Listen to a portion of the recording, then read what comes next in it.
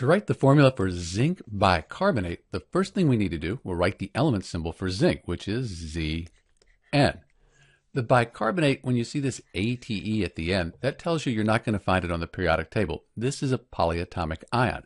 So you either memorize that the bicarbonate ion is HCO3, and the whole thing has a 1 minus ionic charge, or if you're allowed, you look it up on a table of polyatomic ions. So we have the zinc bicarbonate here. Zinc is a metal, and the bicarbonate, that's a group of nonmetals. So when you have a metal and nonmetals, it's an ionic compound, and we have to consider the charge. Zinc is in the transition metal group, but it's always 2 plus. So that's a good one to remember. So we have zinc 2 plus, hydrogen carbonate or bicarbonate ion is 1 minus.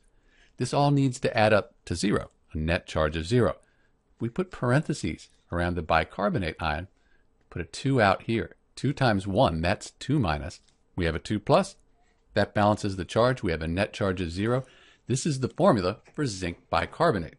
And this is Dr. B. Thanks for watching.